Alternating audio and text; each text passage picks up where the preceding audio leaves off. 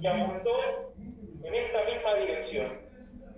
Acá estaba la familia Espinosa, o miembros de ella, y él pensaba que eran los supuestos agresores del hecho anterior.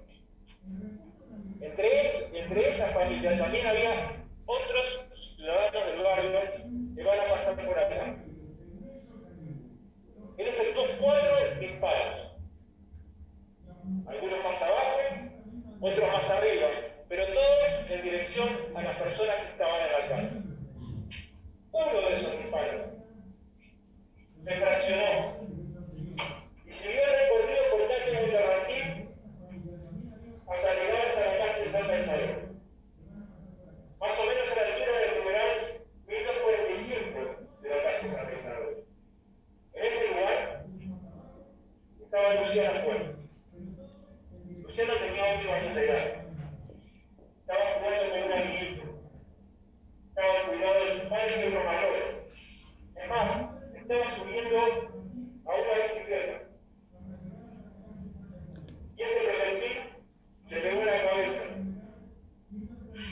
Y cayó. Lo trasladaron al hospital. Y a las 4 de la mañana, Luciano murió. Ese es el hecho que la Fiscalía está acusando.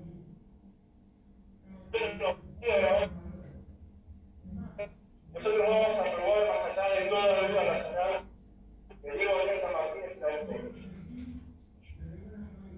Voy a decir cuatro cosas. La primera, la primera de ellas es que yo les hablé de un hecho previo. Yo les, les dije que San Martín se paró sobre la calle Butarranquín y 22 de octubre efectuó disparos en respuesta de una agresión. Nosotros les vamos a mostrar en este juicio que hubo una agresión previa, que es el motivo por el cual él disparó.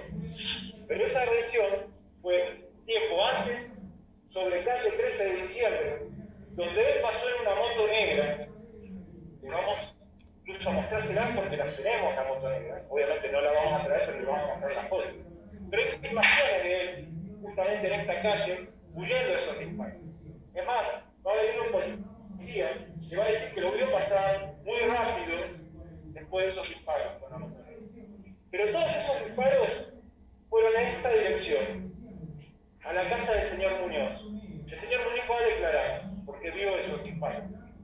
Y va a venir personal policial que les va a decir dónde pegaron esos disparos.